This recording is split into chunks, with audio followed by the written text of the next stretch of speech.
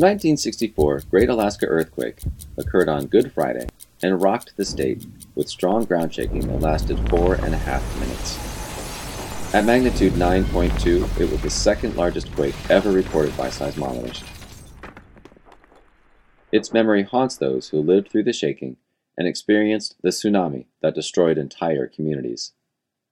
This earthquake also rocked the scientific community by confirming a major principle of plate tectonics with the observation that the oceanic Pacific plate dives beneath the continental North American plate at the Aleutian Trench.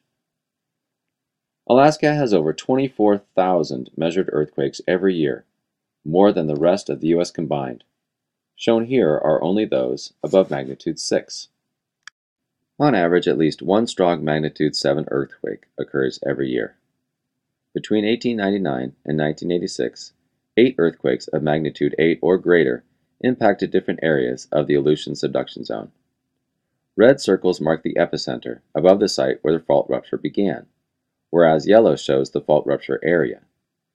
How can we understand the relative energy released by a great earthquake of magnitude 9 compared to smaller yet still damaging earthquakes? And just what is the rupture zone?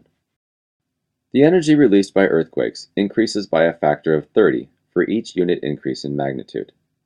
As an analogy, if breaking a single strand of pasta represents a magnitude 5 earthquake, then we need to break 30 strands to represent a 6, 900 strands for a 7, and 27,000 noodles to represent a magnitude 8. To represent the energy released in a magnitude 9 earthquake, like the recent earthquake in Japan, we would need to break an immense bundle of 810,000 noodles and the Alaska 1964 earthquake was even larger at magnitude 9.2.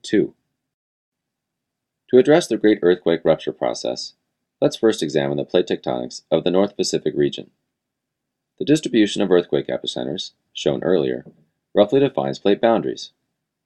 The Aleutian Trench marks a 2,100 mile long subduction boundary between the Pacific and North American plates, similar to the Nazca Plate diving beneath the South American Plate at the Peru-Chile Trench. Along southeast Alaska and western British Columbia, the Pacific Plate grinds against the North American Plate in a strike-slip motion, as it does along the San Andreas Fault in California. The rate of subduction varies from 2.2 to 3 inches per year. We will animate the 1964 earthquake in four consecutive perspectives to understand what happened.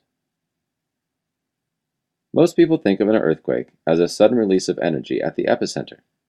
In reality, an earthquake is caused by sudden displacement of rock across a fault at a given depth within the Earth at the hypocenter. For great earthquakes, the displacement at the hypocenter is just the beginning. The initial fault break in 1964 triggered a runaway rupture that displaced an area more than 500 miles long. The entire fault rupture elapsed over four and a half minutes, releasing immense seismic energy equivalent to a cascade of 1,000 magnitude 7 earthquakes. Let's zoom in now to a cross section to view the plate interaction. The dense oceanic plate dives beneath the more buoyant continental plate at a rate of about 2.5 inches per year. Because tectonic plates are elastic like a spring, Converging plates build energy at the leading edge of the continent. Locked by friction, the upper plate is forced back and shortened, raising the land surface. GPS, not available in 1964, is now available to measure that strain. In 1964, the force of the converging plates overcame friction and caused the leading edge to lurch seaward, uplifting the seafloor, forming a mound of seawater that spread out as a tsunami. As coastal areas near the trench were uplifted, areas inland dropped. During the 1964 earthquake, the broad area at the leading edge of the overlying plate rose up as high as 9 meters, as the landward region subsided up to 2 meters, thus raising the shoreline barnacles well above sea level and dropping the inland shoreline below sea level, killing trees, leaving its legacy in ghost forests. The ground shook relentlessly as the rupture progressed along the fault surface. Prolonged shaking served to liquefy underground water-saturated sediment. Liquefaction triggered the landslides that caused major damage in Anchorage. Deformation of the seafloor especially uplift along the Patton Bay Fault, produced a tsunami that spread across the Pacific Ocean. Astonishingly, only nine people died from the earthquake itself, but 130 were killed by the subsequent tsunami that wreaked havoc across the northern Pacific region. In the early 1960s, plate tectonic theory was in its infancy, and subduction was poorly understood. Soon after the earthquake, measurements of land and seafloor deformation taken by United States Geological Survey geologist George Plafker and co-workers led them to propose that underthrusting of the Pacific Plate beneath Alaska caused the earthquake.